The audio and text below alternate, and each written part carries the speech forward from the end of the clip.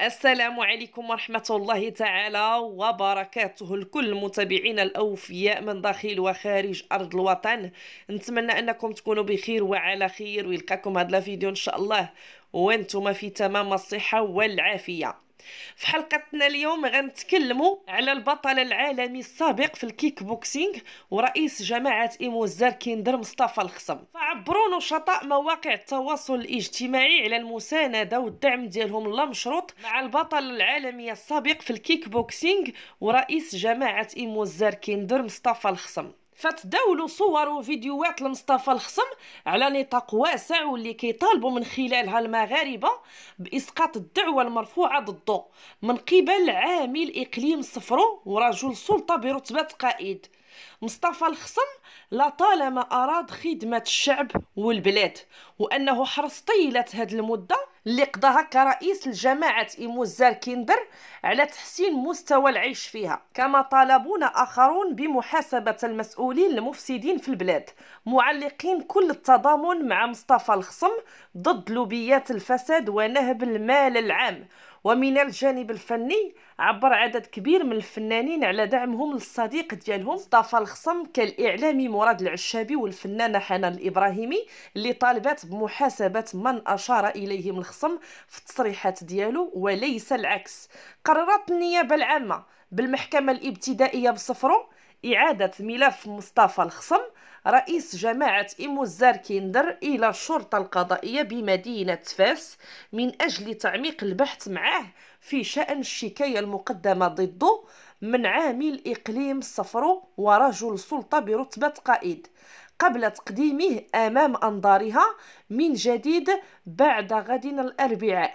وجاء هذا القرار بعد تقديم البطل العالمي السابق في رياضة الكيك بوكسينغ يوم الاثنين أمام أنظار النيابة العامة بمحكمة الاستئناف بمدينة فاس في حالة سراح. إثر الشكاية المقدمة ضده على خلفية تصريحات اتهم فيها عامل صفرو بعرقلة ميزانية الجماعة لكي يسيرها من خلال تحريض أعضاء بالمجلس ديالها ضده. فمصطفى الخصم الإخوة الكرام فاش ولا رئيس جماعة تصدم من حجم الفساد والاستبداد اللي كيمارسها عامل الإقليم.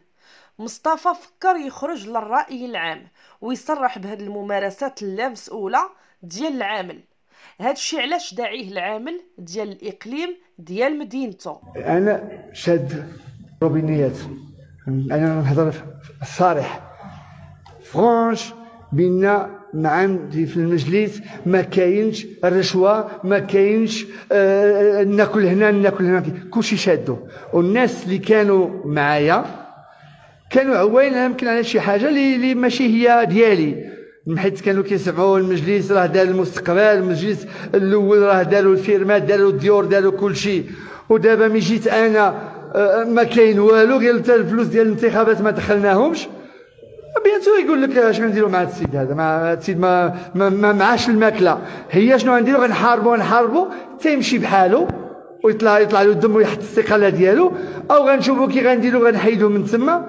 mais أنا ما غنمشيش بحالي وغنبقى معاهم حتى الأخر. وغنبقى يبوحني صحيح. هادشي الحماق واش واحد ما كيصوتش على السبيطار باش نقادو السبيطار ديال ايموزار كندر. اللي مهمش. اللي vraiment ما عندك ما دير فيه. غتدخل كتقول لهم أنا راني مريض كيصيفطوك الصفرو ولا الفاس.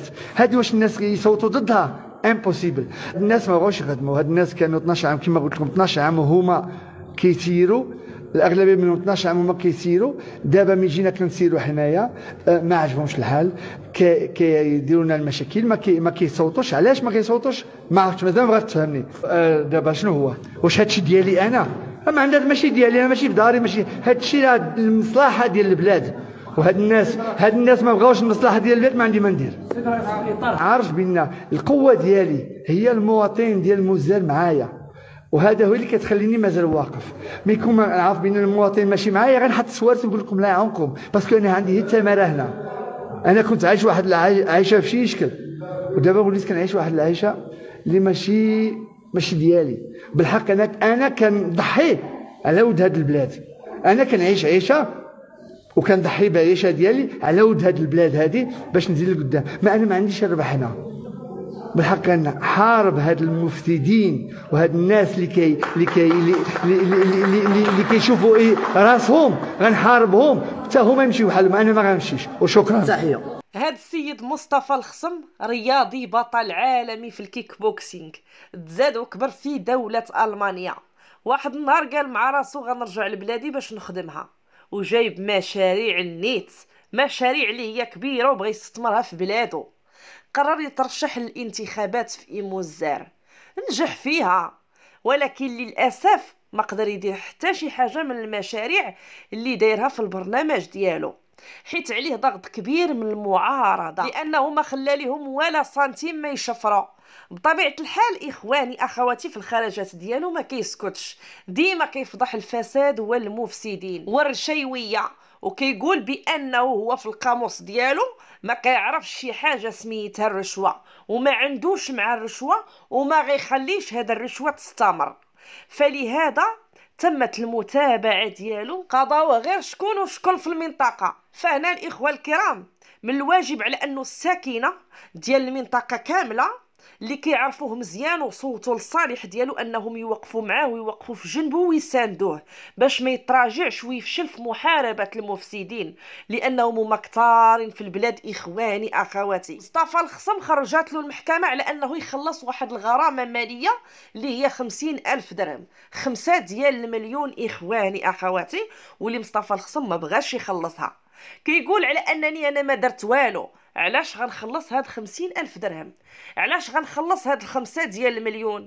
إيوا فعلا إخواني أخواتي ما حدو هو ما دير والو. وغيخلص هاد الفلوس إلا خلصهم فغادي يثبت على راسو أنه فعلا قام بهذا الجرم. إلا بقى مصمم على أنه ما باغيش يخلص هاد الغرامة لأنه بريء وما دارش هاد الجرم المنسوب ليه. هنا كيتسنى العدالة والقضاء المغربي يثبت على أنه هاد السيد هذا ما داير والو. وهو كيقول لك أنا ما داير والو. ففي بلادنا هذه هي الحاجة الخايبة والصعيبة إخواني أخواتي. لأن اللي كيبغي يخدم هذا الوطن واللي تيبغي يستثمر فيه ويخدم فيه ويجيب شي حاجة يديرها في بلادو ويخدم بالنية كيضربوه للراس. وحتى الناس كيستاءوا ما كيصبروش. شحال من واحد تيدخل يستثمر في البلاد ديالو؟ تيلقى صعوبة لا من المسؤولين ولا من المجتمع وتينوض يرجع من حيث أتى. وهذا الشيء اللي ما بقيناش بغيناه في هذه البلاد السعيدة. فهذه حاجة طبيعية انه هذا السيد هذا ما ينجحش لأنه ما كيتوفرش على شهادة عليا في سياسة الكذب والنفاق والنهب والسرقة. حسبنا الله ونعم الوكيل. واللي نضحك أمام العالم في إطار الديمقراطية. إخواني أخواتي لنا الخبر ولكم التعليق. أعطيونا اللايكات وال partage وأكثروا التعليقات.